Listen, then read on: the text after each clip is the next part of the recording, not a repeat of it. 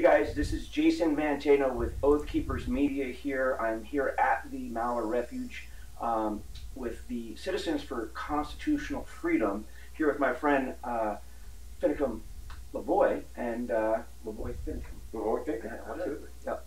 I'm here with Lavoy Finicum, who, as you know, I've interviewed before, and he's uh, really taken a stand with the BLM with his own ranch. And now I was uh, very pleased to see that he's here uh, amongst uh, our fellow patriots that are out here taking a stand against the BLM. Thanks for uh, taking the time to speak with me. Oh, absolutely, Jason. It's it's a it's an honor to meet you in, in person. I, I enjoyed visiting with you, but now I get to meet you in person. And that's what's great about these operations is you know you build these relationships online, and then when it's time to do some real work, you know the real men get out there and women and they get out there and do that work. So it's good to meet those people when you can. So tell us why you're here. What made you decide to, to, to leave your ranch, come out here to, to Burns, or outside of Burns, Oregon, um, and do what you're doing? Well, let, let me uh, tell you, I hadn't planned on being here, but the, let's be very clear what brought me here. It was the atrocities that are being perpetrated upon the Hammond family, where he is, he and his son, 75 years old, and he and his son, Dwight and Steve, are now thrown back into prison a second time for the same offense, and for, for a fire of 140 acres of brush Right. and and which happened 11 years ago, by the way. Right. And this is, I mean, you and I, you being, you're from not Nevada, you're across the line, right? Arizona. Arizona, but very close to the, the Bundy Ranch. Yeah. And me being up in Montana and cow country up there, these types of burns happen. I mean, I, I, I run past burns happening really on a weekly basis up there, um, whether it's, you know, part of the forest burns or part of, you know, just ranch land burns. Yeah, prescribed burns has always been part of land management. Um, the federal government does it all the time. Um, private individuals do it on their private land to with, with big areas. To it's it's a way for maintenance of the land to help you know burn off unproductive brush that is there's no feed to drive the nutrients back into the soil so that there's more feed for for wildlife and, and cattle alike. Absolutely. Now, this this case is a little different um, than we saw with, say, the Bundys um, or even yourself, where you we had private land happening. This this and, and there was a court case. They were ju- you know found guilty by a, a, a pe- a jury of their peers, supposedly. Now, there's some real questions with that, though, and I want to address that because I don't. I don't think it was a jury. It was just just a court ruling. Just a court judge, ruling, okay. Not, not a jury of their peers. So, but they were found guilty. But there, there's some serious questions around that. In that there was evidence now that's that's coming up that what the prosecution Oh, oh about oh, oh you, you're referring to the Hammonds. That's how you're referring to to Cliven. Yes, Yes. it was a, it was a jury of their peers, and they were found guilty. Correct. And and yes, there are some real serious questions coming to to light where this needs to be relooked at. That's part of that redress of grievances. Why, and that is where Ammon has taken and exhausted over many a long period of time trying to get the the officials to you know the judges, the, the, the county commissioners, and others to reconvene just an evidentiary hearing to relook at these new things that have come to light. Right. And petitions with tens of thousands of names on them. They they completely ignored that large of a response just to uh, just to say, oh, they're all crazies, you know. So that is what the judge said of these people here in this area and other places that had the concerns and signed that petition. They're, they're just crazies. Right, and, and that's kind of how they try to label the, the entire movement. A lot of times we've seen that, but that's far from the case. All everybody involved seems to be very level-headed, very calm, very intelligent people to begin with. Um, and you're right, Ammon has done an exhaustive study. For you people who want to go check that out, it's at um, bundyranch.blogspot. Um, I'll put the link into the, the notes at the bottom of this video. Um, but please check that out. It, it really is an important part of this case. So a lot of people also are, are a little concerned that you guys have occupied these buildings here. Um, and I gotta say, at first when I heard about it, I, I thought it may not have been the wisest decision just because of the timing with what was happening with gun legislation with Obama. It seemed like a good, you know, gift wrap gift. Mm-hmm. And um, but I got to tell you, being here, experiencing the people that are out here and, and the atmosphere, um, you know, it, my mind is changing a bit. And and I got to say that you know it feels more like um, the occupation of a dean's office. You know, something you see out at the campus. Right. And, right. and how many people?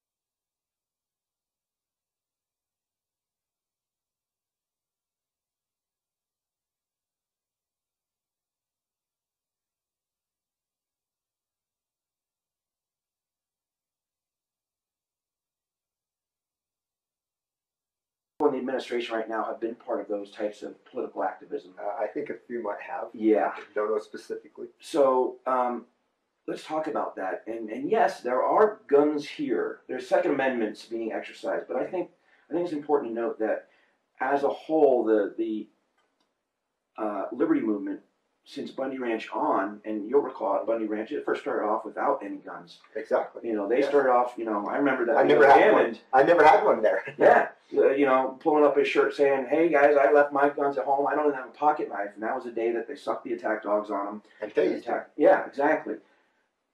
The next day, the guns came out, and it changed the dynamic. And people were, were treated with respect. People were treated like human beings.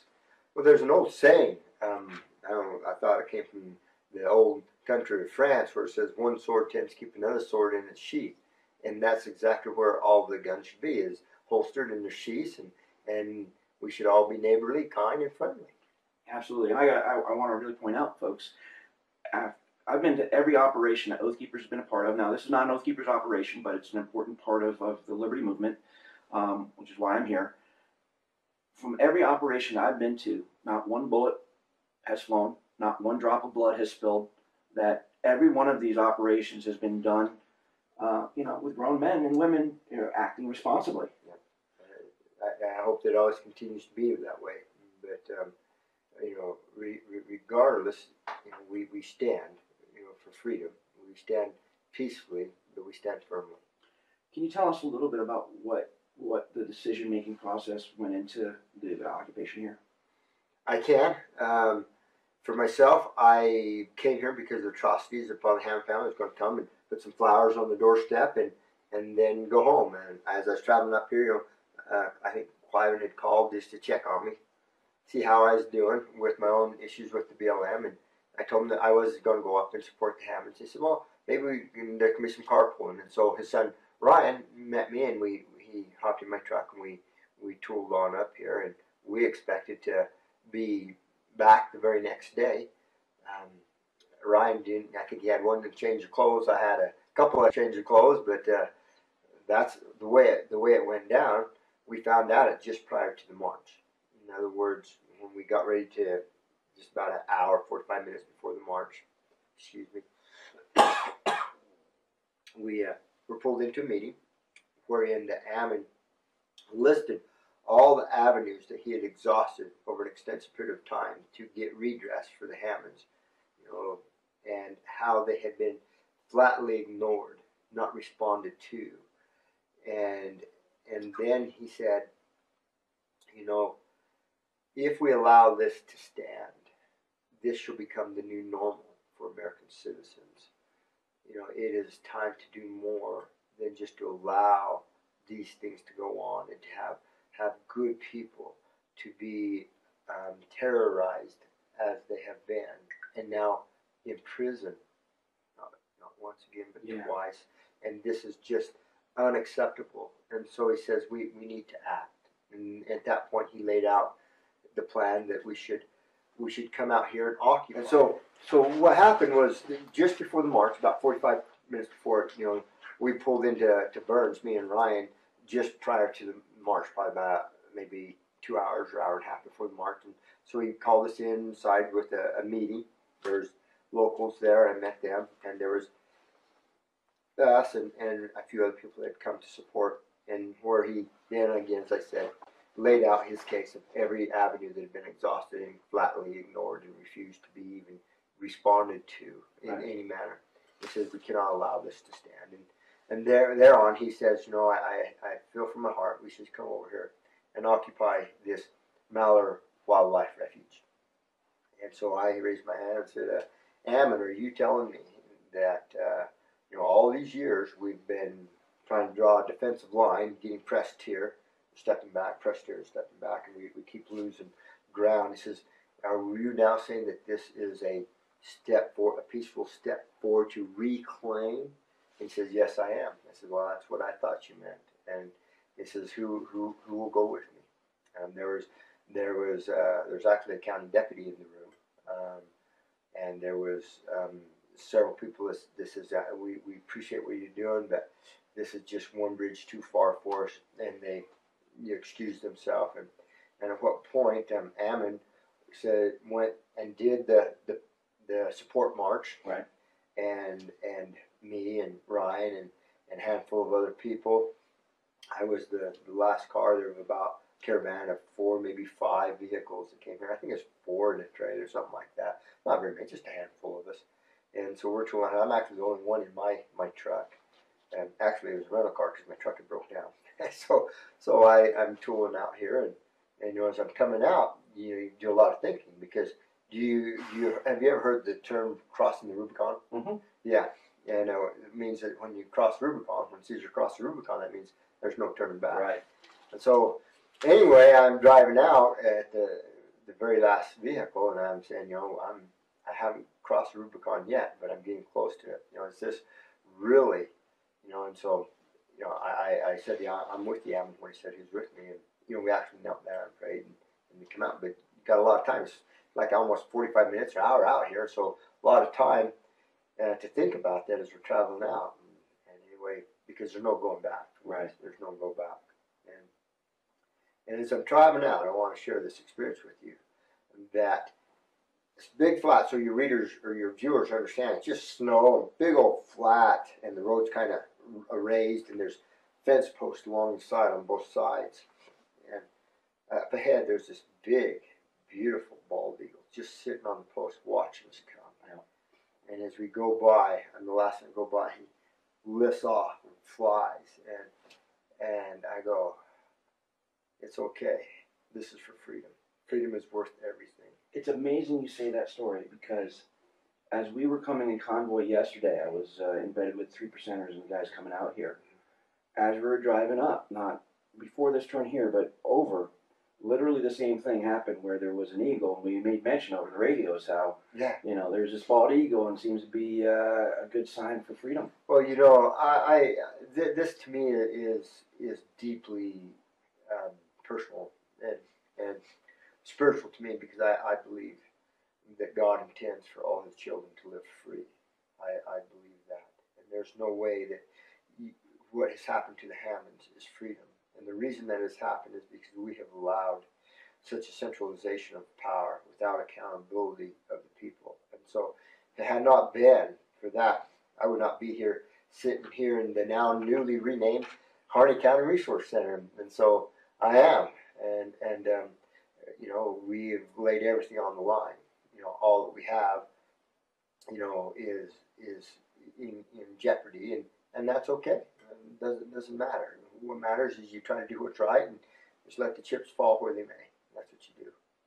All right. Well, thanks for taking the time to talk with us. Is there anything else you want to add before we let you go? Um, no, I one thing I want to do say, um, because sometimes they, they get a, a bad rap is, is the militia, and you know they, they came out with with tact out and stuff, but they travel that way in, in a protective detail, Right. And, and that's understandable. And- But the media loves to hear that. But that's who they are, and from a distance, we have felt the support of, of them saying to the, the federal government, just leave them alone. Right. They're not hurting anybody. They're 35 miles from the nearest place. They're out in the middle of a snow patch. They're not threatening anybody. Just leave them alone. Don't do crazy. Leave them alone. And, and I think they feel that. And I understood when the news media person told me today that indeed they were going to unoccupy that school and let the kids go back to school today. The federal agents that occupied that and made a fortress out of the school, you know, they're the ones that instilled fear in the community, coming and setting up like a like a uh, armed camp, and then lying to us as, oh, we had to close it down because the families were scared. They closed it down so that they could use it as a staging place for a military operation. Yeah. What liars? What liars? We don't need to escalate things like this. Well, it's illegal for being you to, to lie to them. Mhm. That, that, you know, we, we get in trouble for that, but there's, there's no laws for them to. There's a About- double standard. It's time that the federal government be held to. We should be equal under the law. For example, you talk about equal under the law. The Hammonds set a backfire to save more land, a backfire to stop another fire. And they, they actually did, they saved They, it. they did, and they are charged as a terrorist and go to prison. Okay, twice. Where I'm from, Kaibab Mountain, there's what's called the Warm Fire. Just you know, the, the last big fire out there, not that long ago, where it was a controlled burn by who? The the federal government. It gets out of hand, burns thousands and thousands of prime timber. Did anybody go to jail? Did anybody even lose their job? No. So we live under two sets of standards. We are not equal under the law. We have the federal class that protects their own, and then we have us, thus the uh, lower class. Sure, and even the state, uh, state employees too, I think, there's, there, there seems to be, you're, you're either part of the system or you're not, and, and and where does the, the, the privileged class actually receive their, their monies from? It's from the working class.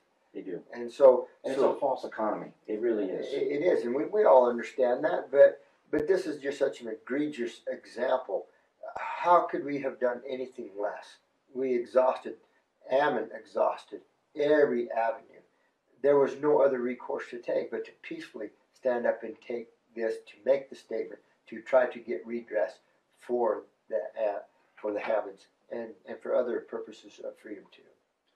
Well, folks, I want to make it very clear that, that, that we talk a lot about the, the, the background to this story and the research that's gone into it and, and all that background information. And I want to challenge each and every one of you to go out there to, I'm going to include links in my articles and in this video um, to, to these different references, these, these uh, information piles, if you will, that, that back up everything we're saying. And I'm gonna, I want to challenge you to go through it, read it, and understand the backstory that we're talking about here, and you know, really across the board in these western states with each one of these these uh, egregious happenings, whether it's you know a guy in Montana or Wyoming putting a pond in his backyard and, and being prosecuted as a terrorist there, to the Hammonds, to the Bundys.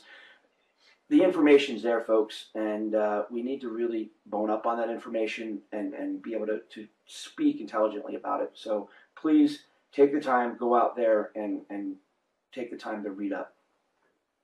I, I, hope I, I'm not sure if I completely finished my thought about the, those that showed up, the militia that showed up and came down to these and talked to us.